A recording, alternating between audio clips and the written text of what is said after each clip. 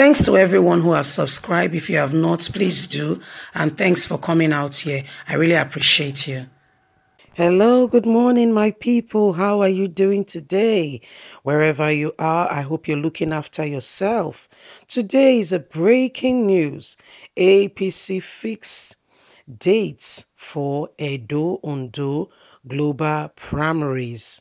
Um, we know that um, Edo Ondo primaries has been lingering on, and there was uncertainty regarding the days due to coronavirus. Uh, but now it's just been fixed. Um, it's just dropping on us red hot, and you know we keep you up to date, giving you the hottest and the latest. So we go straight to the news and get all the details. Breaking news: APC fixed dates for Edo Ondo Global primaries.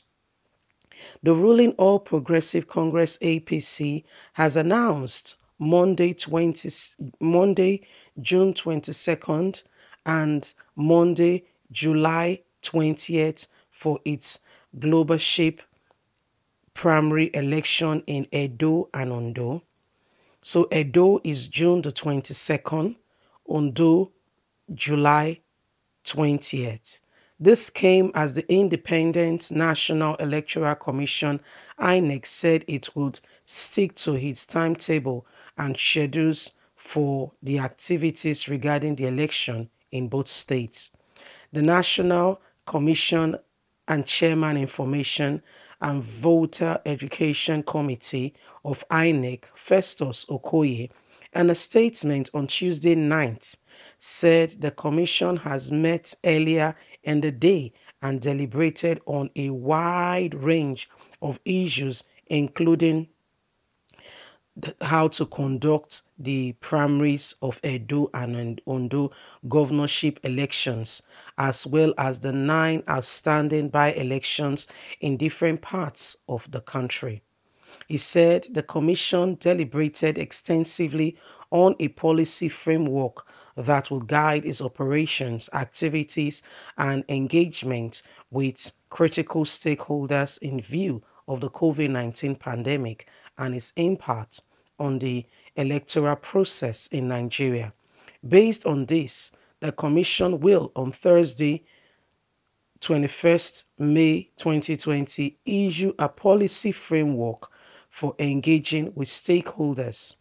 The conduct of the two ends of terminal governorship election, outstanding by election, and future electoral activities.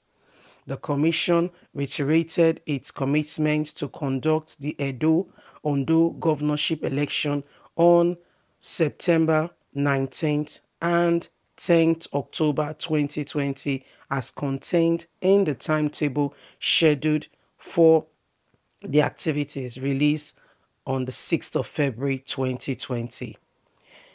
We reassure Nigerians of our resolve and determination to prove the request guidelines, innovations, leadership in conducting elections in the context of the COVID 19 pandemic. The Commission is committed to fulfilling its constitutional responsibility of coordinating elections, but without jeopardizing the health and well-being of citizens, stakeholders of its valued staff. The Commission will accelerate constitutional and engagement policies with political parties as soon as possible, civil society, organizations, security agencies, and health authorities, as well as its policy framework, is finalized this week.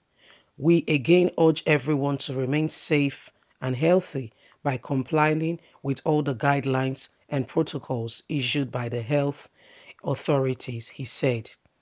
APC, in a notice by its National Organization Secretary, Emma, fixed the course of its nomination and expe- expression of interest form for 22,500 million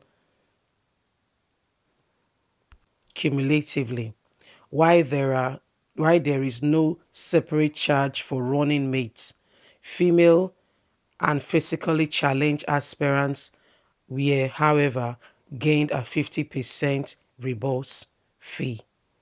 Uh, well, my people, you've heard it all. Finally, the date for the primary has been fixed. Uh, what this means is that for fractional APC, uh, like in a Edo State where we have the EPM, they have to quickly work on a consensus candidate. Um, since these two states have governors who are already serving the first term, but yet being insisted on having a primary, uh, I know for Ondo, they've picked a consensus candidate already that will contest in the primary against the present governor. Uh, the person they picked was um, one Oke. The present governor is Akeredolu. So the primaries will be conducted in Ondo between Oke and Akeredolu.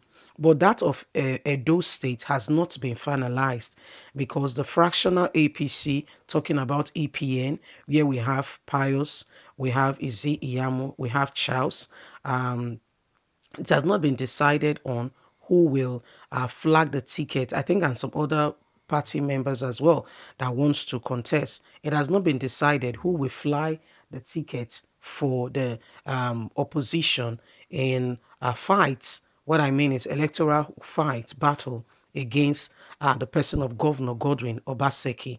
They tried some time ago to have that election, but could not come up with a consensus candidate as um, it ended in a deadlock and um, so many issues resolved. Uh, they were being criticized that they already picked a consensus candidate and that the um, 14 lawmakers that were called in to come and vote already were biased as they felt they were just choosing Ize-Iyamu. So that led to a deadlock and they could not continue with the primaries. So one of the things it is just uh, this was just decided and it dropped last night. Uh, you heard the news. Um, INEC had deliberations in the day and concluded it in the night, and this was just released to us you know, uh, in the ninth that they finally had a consensus candidate and um, uh, they already they, they finally have a date for the primaries. They were, there was speculations if they should move it with regards to COVID-19. But since the COVID, the whole COVID-19 uh, issue is being resolved, I mean, the lockdown is being eased off gradually. I think that's why they are going ahead and having these primaries. So the primaries will be conducted between uh, to be conducted between Inedo, Inondo, between uh, Akeredolu and uh, Oke. But in Edo, uh, Godwin Obaseki is the only known candidate by APC. We don't know the consensus candidate yet don't know the consensus candidate by the fractional um, APC yet, which happens to be EPM, Edo P- uh, People's Movement. We don't know their um, results yet. We don't know what um, what they were what they are up to yet because they are yet to have a consensus candidate. I think now that uh, with the, with this in view that um, they will be having the election no sooner than soonest they will have to quickly work on it and get the consensus candidate. And as soon as that comes up, trust us, we keep you uh, updated with the hottest, the latest as it drops. Uh, what we're going to advise here, what we're going to say is people, please, enough is enough of putting yourself on the line for any politician. No politician is worth it. In politics, right? Betrayal is the order of the day. Please don't allow yourself to be used as a tog, as a scapegoat for any political party. They don't deserve it. Trust me. When they get there, they will even forget your name, how much more that you exist. Please, if you're participating, go there, vote, and leave. If you are participating in any way, form, or kind, go there, vote, and leave.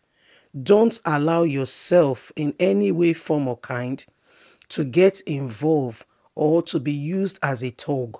Remember what goes on in this party, these elections is always very, it's not very nice. And if you injure yourself or anything happens to you, your family will bear the brunt. You are the one who will suffer the injury, and the person, the candidate whom you even stuck out your neck for. We forget or we not even remember. And when they talk, they will tell you you are part of um, part of the casualty of a war. Uh, they will not even take it seriously. Meanwhile, your children, your wife, your family will be the ones to bear the brunt. So please, stick stick to the guidelines. Don't allow yourself to be used by anyone. Anyway, we're keeping it real and keeping you informed with all that is going on in Nigeria and around the world. Don't forget you have a voice, use it, and keep safe. God bless and bye for now.